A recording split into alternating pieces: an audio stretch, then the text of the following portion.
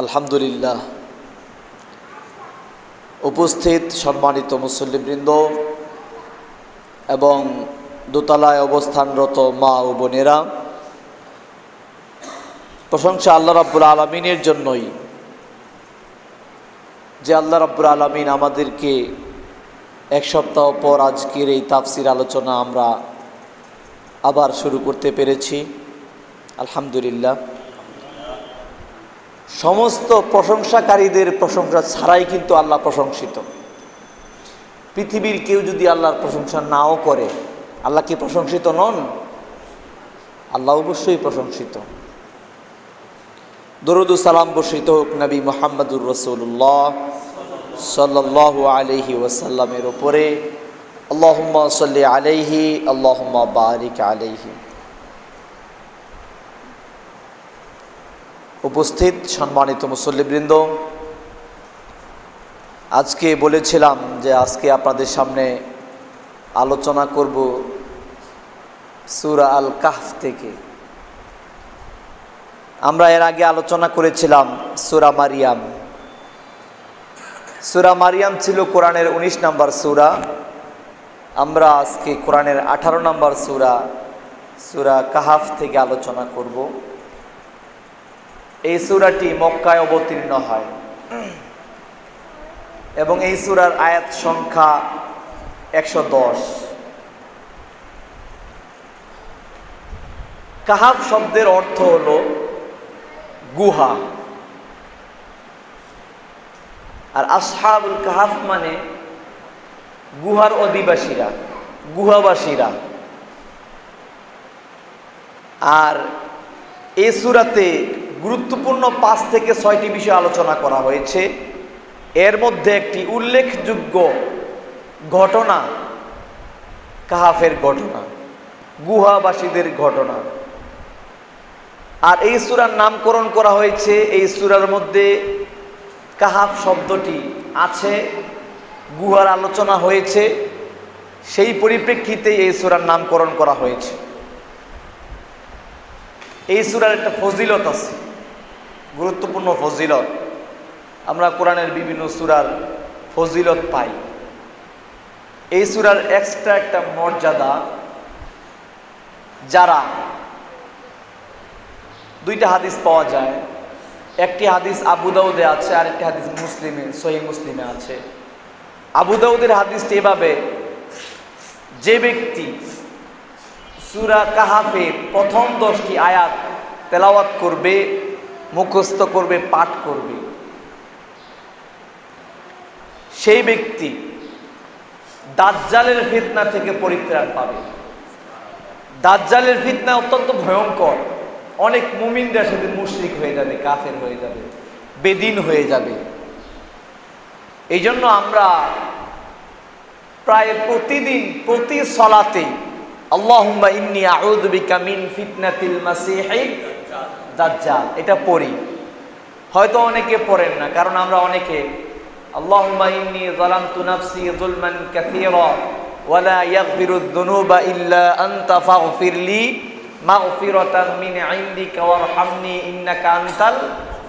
রহিম পর্যন্তই পড়ি। কিন্তু আরও আছে। এটুকু এনাফ কিন্তু আরও যদি পড়েন, আরও পড়া যায়।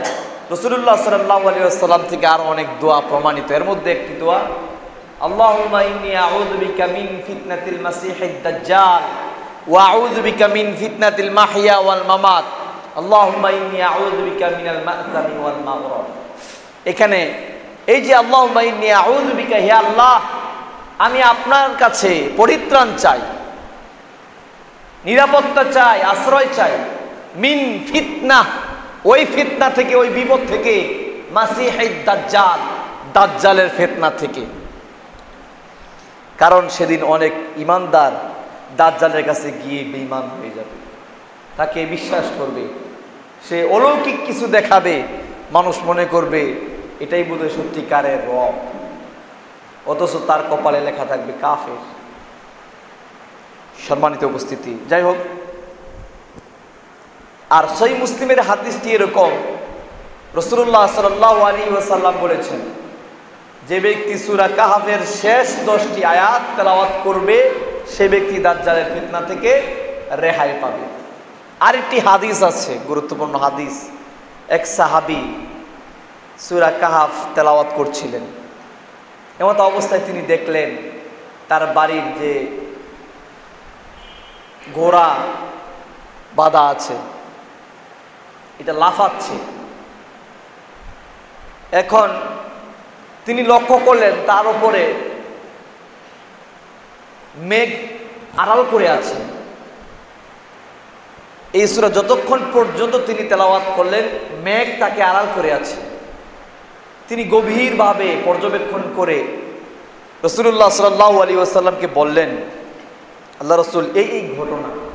আল্লাহ রসুল বললেন, তুমি তেলাওয়াত করতে থাকলে না কেন? আল্লাহ রসুল বললেন, এটা হলো যখন কোরআন নাজিল হয়, নাজিল হওয়ার পরে যেরকম সাকিনা হয়, প্রশান্তি নাজিল হয়, এই সুরা পাঠ করলে তাদের উপরে সাকিনা, অর্থাৎ প্রশান্তি নাজিল হয় সুহান সম্মানিত উপস্থিতি, আরেকটি হাদিস পাওয়া যায়, হাদিসটি মোস্তাদরকে হাকিমে আছে। যে ব্যক্তি এই সুরা পাঠ করবে, কেয়ামতের দিন এই সুরা এই সুরা কাহাফ, ওই ব্যক্তির জন্য আলোকবর্তিকা হবে। আলো হয়ে যাবে, পথ প্রদর্শন করবে। আলো হয়ে। আর যে ব্যক্তি শুক্রবার দিন সুরা কাহাফ পাঠ করবে, আগামী শুক্রবার পর্যন্ত তার জন্য একটা আলো জ্যোতি থাকবে তার পিছনে। সুহান প্রতি শুক্রবার দিন আমরা যখন মাদ্রাসায় পড়ালেখা করতাম সকালবেলায় মাদ্রাসায় ওস্তাদ জীগন ফজরের নামাজের পরে আমাদেরকে সাথে সাথে রুমে ঢুকতে দিতেন না। সবাইকে বসিয়ে দিতেন। সুরা কাহাফ তেলাওয়াত করো, তারপরে রুমে যাও। এই হলো সুরা কাহাফের ফজিলত। আমরা অনেকে জানি অনেকে জানি না। অনেকে জানলেও মানি না, অনেকে না জেনে মানি না। আর যে জেনে মানে না, আর যে না জেনে মানে না, সমান তো একই। একরকম না? জেনে লাভ কি হলো যদি আমি জানতে না পারলাম? আমল করতে না পারলাম, লাভ কি? ফায়দা কি? উপকারিতা কি? উপকারিতা নাই। সম্মানিত উপস্থিতি, আমরা এখন আমাদের এই সুরা কাহাফের আলোচনা শুরু করব। আল্লাহ রাব্বুল আলমিন সুরা কাহাফের প্রথম আয়াত শুরু করেছেন, আলহামদুলিল্লাহ। কি দিয়ে? সমস্ত প্রশংসা। যাবতীয় কৃতজ্ঞতা, গুণগান একমাত্র সে আল্লাহ রাব্বুল আলমিনের জন্য। আমরা প্রত্যেক নামাজে পড়ি, আলহামদুলিল্লাহ সব প্রশংসা গোটা বিশ্বের প্রতিপালকের জন্য। এই আলহামদুলিল্লাহ দিয়ে কোরআনে পাঁচটি সুরা শুরু হয়েছে। কয়টি সুরা? পাঁচটি সুরা। এক, সুরা ফাতেহা। দুই, সুরা আনআম। তিন, এই সুরা কাহাফ। চার, সুরা সাবা। পাঁচ, সুরতুল ফাতির এই পাঁচটি সুরা শুরুতে আলহামদুলিল্লাহ আছে। আর অনেক সুরা শেষে আপনি পাবেন আলহামদুলিল্লাহ। আল্লাহ রাবুল আলমিন প্রশংসা দিয়ে শুরু করেছেন। আবার শেষেও কি? প্রশংসা।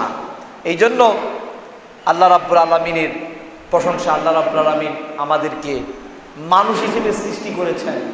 পৃথিবীর শ্রেষ্ঠতম উত্তম জাতি হিসেবে। আমরা ময়লা কদর্য জায়গায় থাকি না। দেখেন এটা কুকুর, সে ময়লা আবর্জনার মধ্যে খাবার বেছে বেছে বের করে খায়। খায় কি না? একটা গরু, সে মাটির সাথে মিশিয়ে খাবার খায়। সে এটা ধুতে পারে না। কিন্তু আল্লাহ রাব্বুল আলমিন মানুষকে সৃষ্টি করেছেন মেধা, জ্ঞান এবং বুদ্ধি ও শক্তি দিয়েছেন, যার মাধ্যমে মানুষ তার খাবারকে ধুয়ে, পবিত্র করে, পরিষ্কার করে, পরিচ্ছন্ন পরিচ্ছন্ন করে তারপরে নিজের মুখের মধ্যে, পেটের মধ্যে ঢুকায়। ঢুকায় কি না? ঢুকায়। মানুষ কোনো দুর্গন্ধ জাতীয় খাবার খায় না, অন্য পশুরা খায়। আল্লাহ রাব্বুল আলামিন মানুষকে পৃথিবীর শ্রেষ্ঠতম জাতি হিসেবে সৃষ্টি করেছেন। তাই তো মানুষ আশরাফুল মাখলুকাত। কিন্তু মানুষ তার কৃতকর্মের মাধ্যমে মানুষ ওই কুকুরের চাইতে নিকৃষ্ট হয়ে গেছে। আলাইকুম সালাম। সম্মানিত উপস্থিতি, দেখেন আল্লাহ কি বলছেন। আলহামদুলিল্লাহ আব্দিহিল কিতাব। সব প্রশংসা সে আল্লাহর জন্য, যিনি আনজালা আলা আব্দিহিল কিতাব, যিনি তার বান্দার উপরে কিতাব নাজিল করেছেন, তার দাসের ওপরে কিতাব নাজিল করেছেন, সেই দাসটাকে মোহাম্মদ সাল্লাল্লাহু আলাইহি ওয়াসাল্লাম।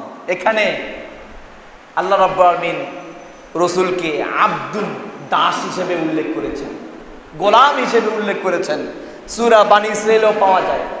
সুবহানাল্লাযী আসরা বিআবদিহি লাইলাম মিনাল মাসজিদিল হারামি ইলাল মাসজিদিল আকসা। সুবহান। আল্লাহ রাব্বুল আলামিন পুত পবিত্র। আল্লাযী আসরা, যিনি ভ্রমণ করিয়েছেন। আশ্রম মানে রাত্রিবেলায় ভ্রমণ করানো। রাত্রিবেলায় এক জায়গা থেকে আরেক জায়গায় যায়া যাওয়া। মানে রসুল্লাহ সাল্লাল্লাহু আলী আসাল্লামকে আল্লাহ রাব্বুল আলামিন মক্কা থেকে বাইতুল মুকাদ্দাস, বাইতুল্লাহ থেকে বাইতুল মুকাদ্দাস রাত্রিবেলায় ভ্রমণ করিয়েছেন। এটাই বলছেন কি? সুবহানাল্লাযী আসরা বিআবদিহি, তার বান্দাকে যে আব্দুল শব্দ আছে কিনা বিআবদিহি, তার বান্দাকে লাইলাম রাত্রে বেলায় মিনাল মসজিদিল হারাম ইলাল মসজিদিল আকসা। মসজিদে হারাম থেকে মসজিদে আকসা, অর্থাৎ বাইতুল মুকদ্দাসে ভ্রমণ করিয়েছেন রাত্রি বেলায় আছে কিনা এখানে বান্দার কথা? এখানে আল্লাহ কি বললেন? আল্লাহ রাব্বুল আমিন এই কোরআন নাজিল করেছেন তার গোলামের উপরে। তার দাসের উপরে।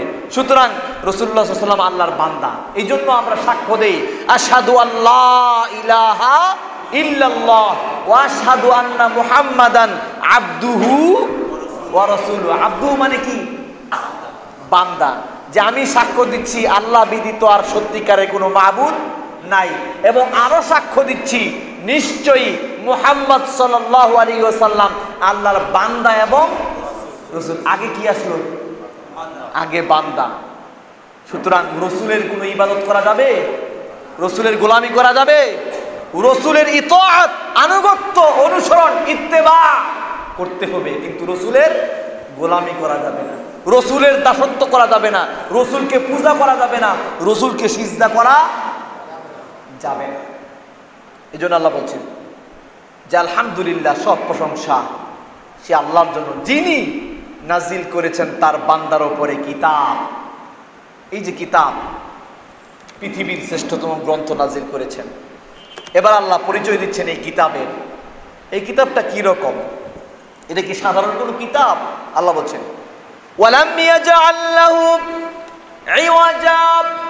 আল্লাহ রাব্বুল আলামিন এই কিতাবকে কোনো বক্র করেন নাই, কোনো ভ্রান্ত কিতাব হিসেবে পাঠান নাই। এর মধ্যে কোনো স্ববিরোধিতা নাই, এর মধ্যে কোনো বিচ্যুতি নাই, এর মধ্যে এমন কোনো কথা নাই যা বোঝা যায় না, বরং এটা বুঝার মতো একটি কিতাব। একটা আরেকটার বিপরীত নাই। ওয়ালাম ইয়াজআল্লাহু ইওয়াজা, বিকৃতি নাই, বিচ্যুতি নাই এই কিতাবের মধ্যে। আল্লাহ অন্যত্র বলছেন কোরআন আরবিয়ান আমি কোরআন কোরআনকে নাজিল করেছি আরবি ভাষায়। একদম বিকৃতি, বিচ্যুতি, বক্রতা ব্যতীত কোরআনকে আমি নাজিল করেছি। আল্লাহ অন্যত্র বলছেন, এই কিতাব কি? ইন্না হাদাল কোরআন ইয়াহদি লিল্লাতি হিয়া নিশ্চয়ই এই কোরআন মানুষকে পথ দেখায়, রাস্তা দেখায়। ইন্নাহাদা ইয়াহদি, রাস্তা দেখায়। ইন্নাহাদা ইয়াহদি লিল্লাতি হিয়া যে পথ সুদৃঢ় মজবুত, কোনো ভঙ্গুর পথ নয়। এই কোরআন সেদিকে রাস্তা দেখায়। আল্লাহ বললেন, এই কোরআনের মধ্যে কোনো বিচ্যুতি, বিকৃতি, বক্রতা এগুলো কিছু নাই। কইমা সহজ, সরল ভাষায় এই কিতাব অবতীর্ণ করা হয়েছে। কেন?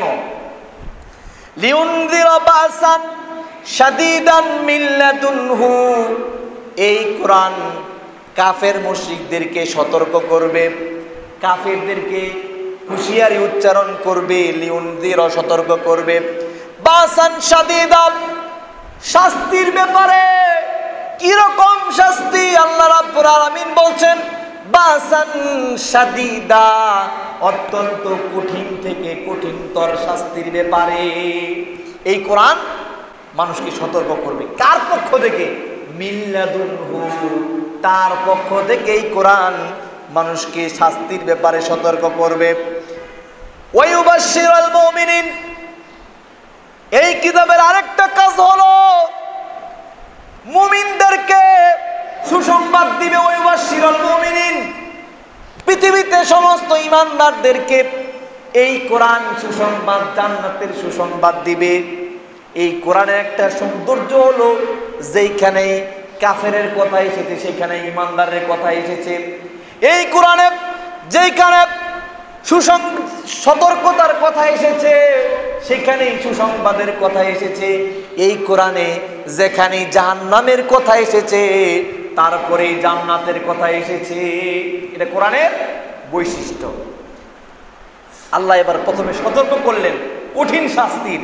এবার আল্লাহ মুমিনদেরকে সুসংবাদ দিচ্ছেন ওই মুমিনিন, হে মুমিনরা, তোমাদের জন্য সুসংবাদ।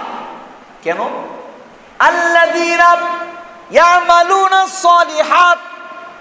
সব ইমানদারদের জন্য নয়, নামে অনেক ইমানদার আছে, কিন্তু সত্যিকার অর্থেই তারা মুমিন নয়। আল্লাহ বলেছেন বিল্লাহি অধিকাংশ লোক মুশরিক, কখন? ইমান আনার পরেও। ইমান এনেছে আমাদের দৃষ্টিতে অনেকেই মুসলিম, মুমিন। কিন্তু আসলে ভিতরে কি? কুফুরি করে বসে আছে, মুশরিক হয়ে বসে আছে। পীরের মাজারের দরগায় গিয়া সিজদা করে, আবার মুসলিম পরিচয় দেয়, তাই কি না? নাম মুসলিম, বাবাও মুসলিম, আবার ইসলামী সংস্কৃতিতেও বিশ্বাসী, মসজিদে নামাজও পড়ে, আবার পীরের দরবারে গিয়ে দান খয়রাতও করে, সিজদা দেয়, সাহায্য চায়। করে কি না? তারা কি মুসলিম? তারা কি মুমিন? কোশ্চিন কালেও নয়, আমাদের দুনিয়ার মানুষের দৃষ্টিতে তারা মুমিন। দুনিয়ার মানুষের দৃষ্টিতে তারা মুমিন, কিন্তু সত্যিকার অর্থে তারা কি? মুশরিক। আল্লাহ এটাই বললেন। এখানে বলছে, ওই মুমিনরা তাদের জন্য সুসংবাদ, ওই মুমিনদের জন্য। সলিহাত, যারা দুনিয়ার মধ্যে সৎ কর্ম সম্পাদন করে, আমলে সলেহ করে, শুধু নাম দিয়েই পরিচয় না, তার কর্মেও পরিচয়। আল্লাহ সুসংবাদ দিচ্ছেন, আন্না লাহুম নিশ্চয় নিশ্চয় নিশ্চয়ই তাদের জন্য রয়েছে। আজরন হাসানাত উত্তম প্রতিদান, উত্তম পুরস্কারের সুসংবাদ আল্লাহ রাব্বুল আলামিন এই কথাটা বলার আগে বলছেন, আন্না নিশ্চয়ই সন্দেহের কোনো অবকাশ নাই। দিবেন কি দিবেন না, দিতেও পারেন, নাও পারেন, এরকম না। অবশ্যই অবশ্যই দিবেনই দিবেন। এরকম বিশ্বাস আসেনি আমাদের। থাকতে হবে। আমরা যদি এরকম বিশ্বাস নিয়ে কাজ করি, তাহলে আমাদের দুনিয়ার প্রত্যেকটা কাজ ভালো হবে। কিন্তু আমাদের ওই জায়গাতে একটু গন্ডগোল আছে। একটু সন্দেহ আছে, আসলে পরকাল আছে কি নাই? এ ব্যাপারে আমরা যথেষ্ট সন্দিহান। এই জন্য দুনিয়ার সমস্ত কাজকর্ম আগে প্রাধান্য পায়। পরে হলো সময় থাকলে আমরা কোরআনের কাজ করব, তাই না? এরকমটাই তো। সময় থাকলে এক্সট্রা সময়, অতিরিক্ত সময় গিয়ে আমরা এই কাজগুলো করি। কিন্তু আমরা কখনো মনে করি না, কোরআন এবং সন্ন্যার দাওয়াতি কাজ করা এটা আমারও দায়িত্ব। সমাজে ইসলাম প্রচার করা মানুষের কাছে ইসলামের দাওয়াত পৌঁছিয়ে দেওয়া, হক কথা বলা, এটা আমারও দায়িত্ব। সাধ্য অনুপাতে, কিন্তু সেদিকে আমাদের কোনো ভ্রুক্ষেপ নাই। দুনিয়াটাই আমাদের কাছে প্রাধান্য পেয়েছে। আবার বললেন আল্লাহ আলামিন, এই যে আমি তাদেরকে উত্তম প্রতিদান দিব, কি প্রতিদান? উত্তম প্রতিদান হলো এটা আল্লাহর সন্তুষ্টি। নাম্বার ওয়ান নাম্বার টু ওই ব্যক্তি জান্নাতে প্রবেশ করবে। কতদিন মা কিসিনা ফিহি আবাদা সেখান থেকে তারা কোনোদিন বের হবে না। অনন্তকালের জন্য এই জান্নাতে ঢুকছে তো ঢুকছেই আর এখান থেকে বের হতে পারবে না। বের হতে চাইবেও, কেউ বের হতে চাইবেও না। ওখান থেকে কেউ বের হতে চাইবে না। আমরা অনেক সময় ভালো কিছু পাই সাময়িক কিছু সময়ের জন্য নির্দিষ্ট সময়। এরপরে শেষ। কিন্তু আল্লাহ রাব্বুল আলামিন এই নিয়ামত মুমিনদেরকে অনন্তকালের জন্য যে জীবনের শুরু আছে কিন্তু শেষ, আমাদের এই জীবনের শুরু আছে? এই জীবনের শেষ আছে কি না যার জন্ম আছে, তার কি আছে? মৃত্যু আছে, শুরু আছে, শেষ আছে। কিন্তু মৃত্যুর পরবর্তী জীবনের শুরু আছে, কিন্তু শেষ নাই। এটা কি আমরা চিন্তা করতে পারি, মাথায় থাকে। আমাদের মাথায় থাকে না। মৃত্যুর পরবর্তী সময়টা যে কত লং, কত বিশাল, এটা আমাদের মাথায় থাকে না। এত হাজার হাজার কোটি কোটি বছর পার হয়ে যাবে, তাও নতুনই মনে হবে। নতুন। ভালো কিছু খাইতেছেন, কয়দিন পরে আর ভালো লাগে না। চেঞ্জ করো।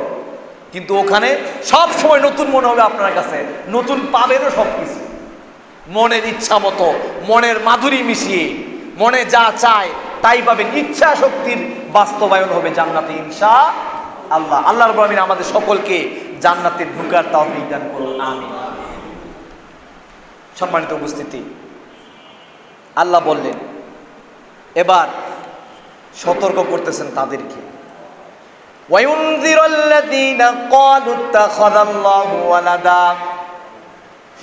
সতর্কতা তাদের জন্য, হুঁশিয়ারি তাদের জন্য। আল্লাদিনা কলু যারা বলে, এর আগের আলোচনায় ছিল ইত্তা খদাল্লাহু আলাদা আল্লাহ রাব্বুল আলামিন সন্তান নিয়েছেন, সন্তান গ্রহণ করেছেন, এই সূরাতে আলোচনা আসছে। তাদের জন্য হুঁশিয়ারি, সতর্কতা।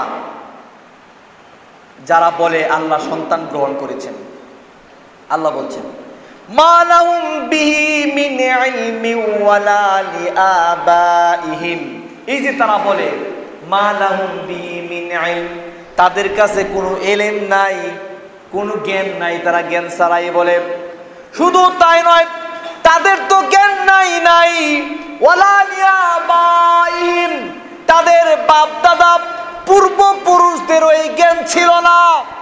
আল্লাহ রাব্বুল আলামিন অন্যত্র সূরা মাইদার মধ্যে বলছেন, ওয়া ইযা কিলা লাহুম তাআলাউ ইলা মা আনজালাল্লাহ ওয়া ইলার রাসূল। আল্লাহ বলছেন হে তাদেরকে বলো, যখন তাদেরকে বলা হয় তাআলাউ তোমরা আসো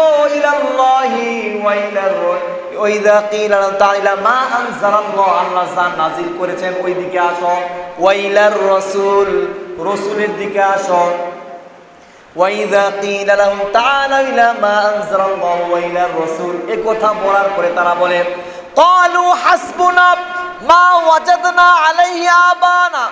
আমরা আমাদের বাপ, দাদা, পূর্বপুরুষ পিতৃপুরুষদেরকে যে জায়গাতে, যে পথের উপরে, যে মতের উপরে, যে কাজের উপরে পেয়েছি, ওইটাই আমাদের জন্য যথেষ্ট। তারা বাপ, দাদার কথা বলতো। আমরা আমাদের পূর্বপুরুষদেরকে যে জিনিসের উপরে পেয়েছি, এটাই আমাদের জন্য যথেষ্ট। নতুন করে কোনো মতবাদের, মতাদর্শের, কোনো আইনের, নিয়মের, কোনো কিতাবের প্রয়োজন নাই। আল্লাহ এখানে বললেন, মা লাহুম তাদের কাছে কোনো জ্ঞান নাই। ওয়ালা লি আবাইহিম তাদের বাপ দাদাদের কাছেও কোনো জ্ঞান নাই। এই যে তারা বলে যে আল্লাহ আলামিন সন্তান গ্রহণ করেছেন, কারা কারা বলে দেখেন? বলে ইহুদিরা, বলে খ্রিস্টানরা, বলেছিল মক্কার মুশরিকরা, এবং পাক ভারত উপমহাদেশের হিন্দুরাও বলে। আল্লাহর কি? মাবুদের আল্লাহ না বলল, আল্লাহর নাম না দিল, একজন স্রষ্টা বিশ্বাস করে ওনার সন্তান আছে। এরকম কিছু কিছু হিন্দুরাও কি বলে? সুতরাং এই যে তারা বলে থেকে বলল? তাদের কোন জায়গা থেকে এলেম আসলো? তাদের কোনো জ্ঞান নাই। তারা জ্ঞান নির্ভর, কোনো কথা বলে না। আন্তাজে একটা কথা বলে। তারা কোনো কাজ করে, তারপর নিজেদের ধারণা করে যে এটার মধ্যে একটা বরকত আছে। এটার মধ্যে একটা বরকত নিজেরা নিজেরা বানায় নেয়। সেখান থেকে তারা অতি ভক্তিতে এই কাজগুলো করে ফেলে। অথচ এই কথার পিছনে তাদের কোনো ভিত্তি নাই, কোনো মজবুত দলিল, সুস্পষ্ট প্রমাণ তাদের নাই, আল্লাহ এই কথাই বললেন। এবার আল্লাহ বললেন, কাবুরত কালিমাতান তাখরুজু মিন আফওয়াহিহিম। এই যে তারা এই কথাটা বলল, এটা তো বিরাট বড় মারাত্মক কথা। কি কথা? বিরাট বড়, কাবুরত বিরাট বড়। কালিমাতান বিরাট বড় মারাত্মক ধ্বংসাত্মক কথা। তাখরুজু মিন আফওয়াহিহিম, যা তাদের মুখ থেকে বের হয়। এই কথা তাদের মুখ থেকে বের হয়। আল্লাহ বললেন, ইয়াকুলুনা ইল্লা কাযিবা। তারা মিথ্যা কথাই বলছে। এই কথা কি? মিথ্যা আল্লাহ বলছেন, তারা মিথ্যা বিদিত আর কিছু বলে নাই। এবার আল্লাহ রাব্বুল আলামিন বলছেন ফালা আল্লাকা বাখিউন নাফসাকা। আমাদের নবীকে লক্ষ্য করে আল্লাহ বলছেন, সম্ভবত নাফসাকা, দুঃখে তুমি তোমার নিজের জীবনকে ধ্বংস করে দিবে। ভালো করে খেয়াল করবেন। আল্লাহ রাব্বুল আলামিন তার নবীকে লক্ষ্য করে বলছেন, হয়তোবা তুমি দুঃখে মন কষ্টে নিজেকে ধ্বংস করে দিবে। কেন? আলা আসারিহিম, তাদের পিছনে ঘুরতে ঘুরতে ঘুরতে ঘুরতে। কাদের পিছনে? কাদের পিছনে? ইল্লাম তারা বিশ্বাস করে নাই। বিহাদাল হাদিসি আসাফা, এই বাণীর উপরে। মানে এই যে তখনকার মুশরিকরা ইমান আনেনি, তারা কিন্তু অনেক চেষ্টা করতেছে ভালো কাজ, ভালো সাওয়াব পাওয়ার জন্য। তাদের কি বিশ্বাস নাই? তারা সাওয়াব পাচ্ছে। দেখেন, পৃথিবীতে যতগুলো ধর্ম আছে, সবাই কিন্তু জান্নাত পাওয়ার জন্যই কাজ করে, ঠিক কিনা? পদ্ধতিটা ভুল। পদ্ধতিটা ভুল। সারা রাত দিন কষ্ট করে। এমনকি মাজারে যারা দেখবেন, তারা রাত্রে বেলায় ঘুমায়ও না। চুলগুলো জট বেঁধে আছে, শরীর থেকে গন্ধ করে। কেন এই অবস্থা? তাদের বিশ্বাস যে এটা দিয়ে আল্লাহকে পাওয়া যায়। বিভ্রান্ত, কিন্তু কষ্ট ঠিকই করে যাচ্ছে। করতেছে না কষ্ট? রসুল্লাহ সাল্লাহ আলী সাল্লাম তাদের পিছনে ছুটছেন তাদেরকে সঠিক পথে নিয়ে আসার জন্য। বারবার চেষ্টা করতেছেন, রসুল এই চেষ্টা করেই যাচ্ছেন এবং ভিতরে মন কষ্ট কাজ করতেছে। কষ্ট কাজ করে নাই। রসুল্লাহ সাল্লাহ সাল্লামের চাচা ইমানদার হন নাই। কষ্ট নাই। বাবা, মা, এদের ব্যাপারে, মায়ের ব্যাপারে সহি মুসলিমের হাদিস জান্নাতে ঢুকতে পারবে না। সহি মুসলিমের হাদিস। কথা হচ্ছে এই, আমার কথা হলো এই। এই যে আত্মীয় স্বজন আল্লাহ বলছেন, ওয়ান জির আশিরতা কালা নবীকে লক্ষ্য করে বলে, নবী, তুমি তোমার নিকটবর্তী আত্মীয়দেরকে সতর্ক করো। রসুল তো আগে এলাকার লোকদেরকে সতর্ক করেন, তাই নাই? করেন নাই? করেছেন। কিন্তু আপনি যখন জানেন আপনার একটা আত্মীয় খুব কষ্টের মধ্যে আছে,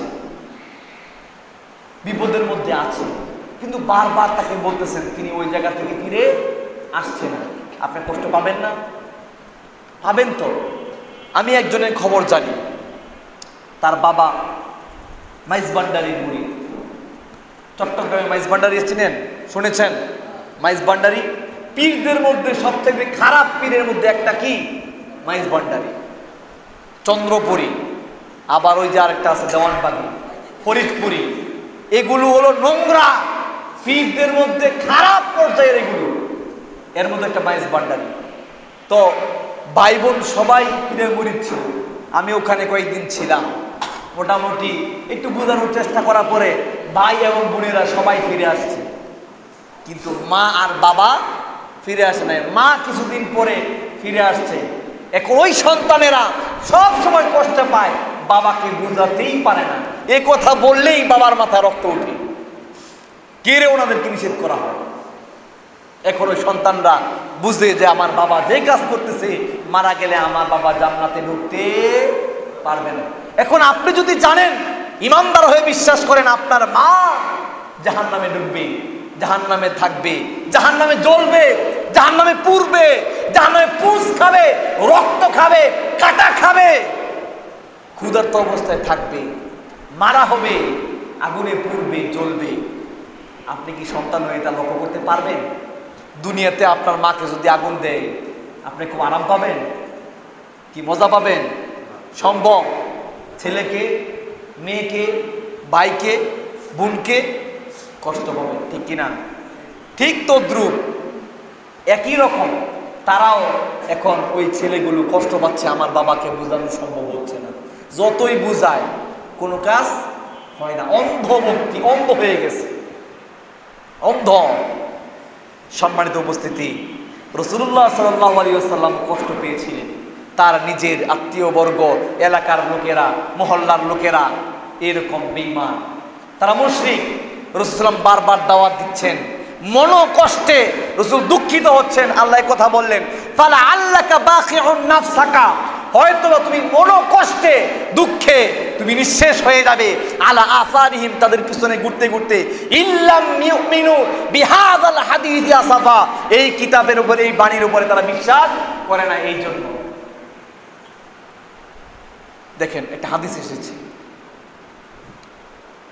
রসুল সাল্লাম বলছেন, একটা উদাহরণ দিচ্ছেন যে আমি তোমাদেরকে এইভাবে সতর্ক করি।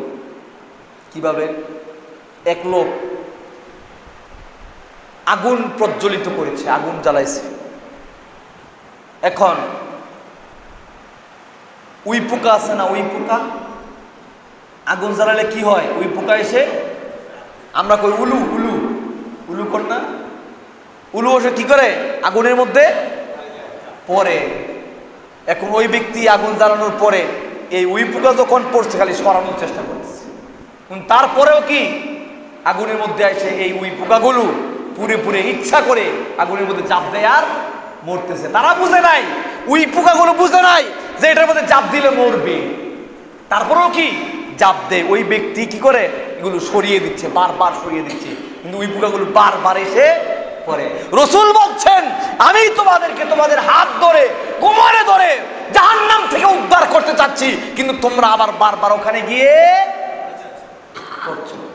ঠিক তদ্রুপ আজকের দিনে আলেমরা, গলা ফাটিয়ে বিভিন্নভাবে বিভিন্ন কৌশলে বক্তব্যের মাধ্যমে, ওয়াজের মাধ্যমে, নসিহতের মাধ্যমে হাতে ধরে, পায়ে ধরে আদর করে মানুষকে বোঝানোর চেষ্টা করছে। কিন্তু এ মানুষ বুঝে না। এই মানুষ আমল করে না। এ হলো আমাদের চরিত্র। সম্মানিত উপস্থিতি, আলেমদের দায়িত্বই হলো এটা বলিয়ে দেওয়া, মানুষকে জানিয়ে দেওয়া। আলেমরাও কষ্ট পায়। আমরাও কষ্ট পাই।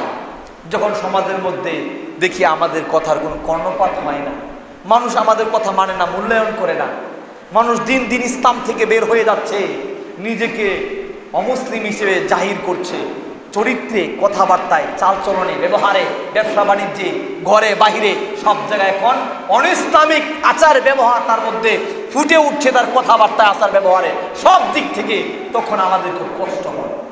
কথা বড়গুলো বলার পরেও যখন দেখি কাজ হয় না, তখন অনেক সময় আমরা নিজেরা হতাশ হয়ে যায় জানেন? কিন্তু হতাশ হতে আল্লাহ নিষেধ করেছেন। হতাশ হতে আল্লাহ নিষেধ করেছেন। আল্লাহ বলছেন ওয়ামাইয়া কোনা তুমি রহমাতি রব্বিহি ইল্লা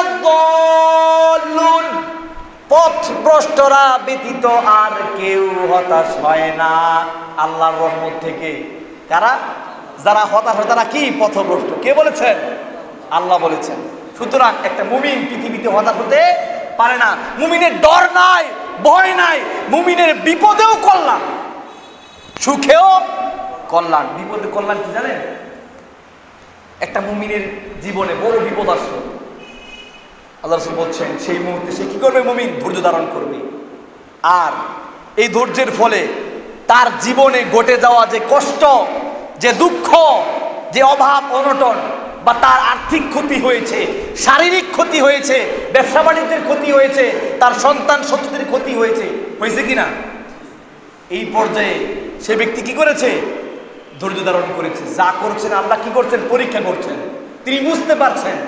আর এই কারণে সেই ব্যক্তি যত কষ্ট পেয়েছে, তার যত ক্ষতি হয়েছে, প্রত্যেকটা কষ্টের বিনিময়ে, প্রত্যেকটা ব্যথার বিনিময়ে, প্রত্যেকটা ক্ষতির বিনিময়ে আল্লাহ তার গুণা মাফ করে দেন। সুবহানাল্লাহ।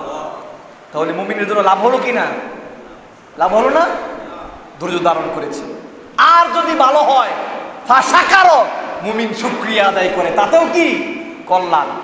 শুক্রিয়া আদায় করলে কি হয়? আল্লাহর নিয়ামত বাড়িয়ে দেন। সুতরাং মুমিনের জীবনে কোনো হতাশা নাই। আল্লাহ এই জন্যই বললেন, ওয়ালা তাহিনু ওয়ালা তাহজানু, তোমরা হীন হইও না, দুর্বল না। তোমরা চিন্তা করো না, তোমরা দুঃখ না, দুঃখিত না। ওয়ান আলাউন, তোমরাই বিজয়ী হবে। ইন কুনতুম শর্ত একটা, কি হতে হবে? ইন কুনতুম কি হতে হবে? মুমিন হতে হবে। এটা আমাদের আপনারা অর্থ বুঝেন। ইন কুন মুমিনিন, যদি তোমরা মুমিন হতে পারো। সুতরাং আমাদের মুমিনদের জীবনে কোনো দুঃখ, কষ্ট থাকতে পারে না। যত বালা মুসিবত, আরেকটা কথা মনে রাখবেন, মুমিনদের জীবনে সবচেয়ে বেশি বালা মুসিবত আসে। এটা মনে রাখতে হবে। আল্লাহ অন্য হাদিসের মধ্যে এসেছে, আল্লাহ যাকে যত বেশি ভালোবাসেন, তত বেশি পরীক্ষা করেন। ইব্রাহিম আলাইসাল্লামকে পরীক্ষা কম করিয়েছিলেন? কম করেছেন? অনেক পরীক্ষা করেছেন। কিন্তু ইব্রাহিম আলাইসাল্লামের নাম সোনালী অক্ষরে, স্বর্ণালী অক্ষরে আছে। সম্মানিত উপস্থিতি। সময় শেষের দিকে আলোচনা বেশি হয়ে যাচ্ছে টাইম শেষ। আলোচনা আর বেশি করব না। আল্লাহ বলছেন এখানেই, ফাল আল্লাহকা বাকি নাস্তাকা হয়তো তুমি নিজ মনোকষ্টে, দুঃখে তুমি নিঃশেষ হয়ে যাচ্ছ।